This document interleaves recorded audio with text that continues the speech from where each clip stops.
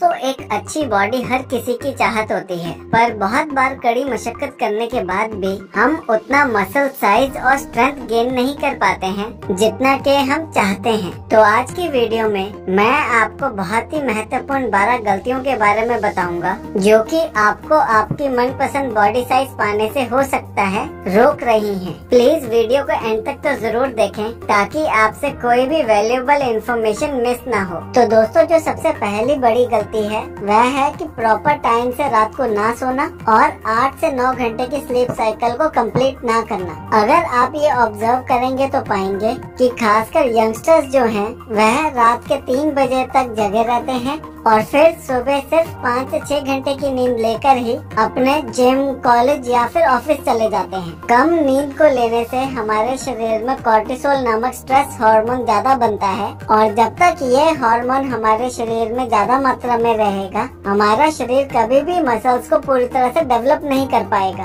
तो इसलिए दोस्तों, रात को सोने और सुबह जागने का टाइम तो ज़रूर निर्धारित करें। दूसरी गलती होती है कि जिम रेगुलरली नहीं जाना। दोस्तों किसी भी लक्ष्य को हासिल करने के लिए हमें रोज़ाना काम करने की आवश्यकता होती है। जब हम जिम में जाकर रेगुलर एक्सरसाइज नहीं करते हैं तो इससे हमारी बॉडी को कोई नीड फील नहीं होती है अपने आप को डेवलप करने की। इसलिए आपने जितने भी अपने जिम के दिन बाँध रखे हैं, उस दिन तो पक्का जिम जाए। तीसरी गलती है प्रॉपर फॉर्म के साथ एक्सरसाइज ना करना। जब एक्सरसाइज करते वक्त हमारी फॉर्म सही नहीं होती है तो जिस मसल पार्ट की हम एक्सरसाइज कर रहे होते हैं, वहाँ के टारगेटेड मसल पूरी तरह से एक्टिवेट नहीं हो पाते हैं। इस वजह से उस एक्सरसाइज का पूरी तरह से हमारे उस बॉडी पार्ट के ऊपर असर नहीं पड़ पाता है। तो इसीलिए हमेशा हमें एक्सरसाइज प्रॉपर फॉर्म के साथ ही करनी चाहिए। चौथी गलती है हैवी वेट लिफ्टिंग करने से बचना और ज़्यादा रेप्स लगाना। आपने भी जिम में देखा होगा कि बहुत सारे यंगस्टर्स हैं जो कि एक हल्का सा डंबल लेके उससे 15 से 20 रेप लगाते रहते हैं।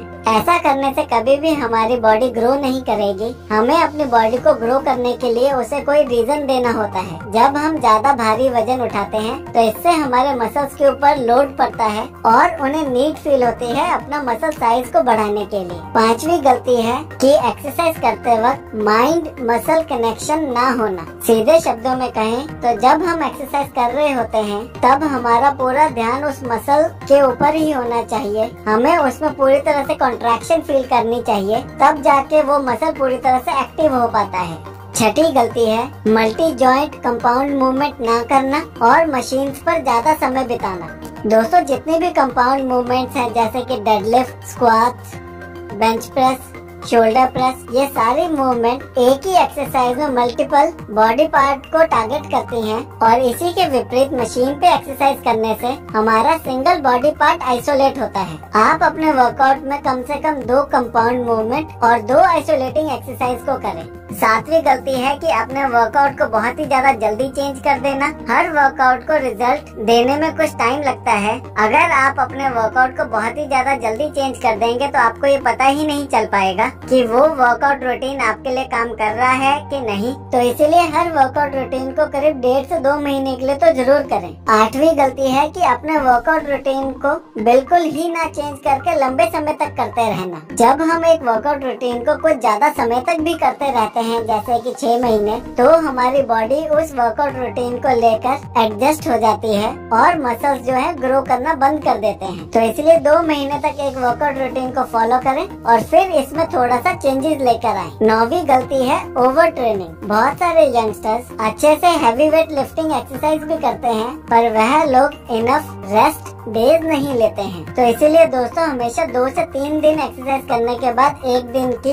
रेस्ट तो ज़रूर करें। दसवीं गलती है बहुत ज़्यादा कार्डियोवास्कुलर एक्सरसाइज को करना। कार्डियो हमारे दिल की सेहत के लिए बहुत ही अच्छी होती है, और फैट कम करने के लिए भी इसका भरपूर इस्तेमाल करा जाता है। पर जब हमारा लक्ष्य खासकर मसल गेन करने का होता है तब कार्डियो भी अगर हम बहुत ज़्यादा करें तो, तो इससे हमारी बॉडी में कम एनर्जी रह जाती है। हम वेट लिफ्टिंग अच्छे से नहीं कर पाते हैं और इसका सीधा असर हमारे मसल साइज़ के ऊपर पड़ता है। ग्यारहवीं गलती है कम खाना खाना। मसल साइज़ को गेन करने के लिए हमेशा हमारी बॉडी को कैलोरीज ओवरलोड कंडीशन में रहने की ज़रूरत पड़ती है और यह भी बहुत पाया गया है कि लोग इनफ प्रोटीन को कंज्यूम नहीं करते हैं। दोस्तों अगर हम अच्छे से खाना या फिर प्रोटीन को नहीं लेंगे तो हमारी बॉडी मसल्स को फिर डेवलप नहीं कर पाएगी। तो इसीलिए अगर आप मसल साइज़ को गेन करना चाहते हैं तो आपकी डाइट भी बहुत अच्छी होनी चाहिए। और सबसे आखिरी गलती है अपने वर्कआउट रूटीन और डाइट का रिकॉर्ड न रखना।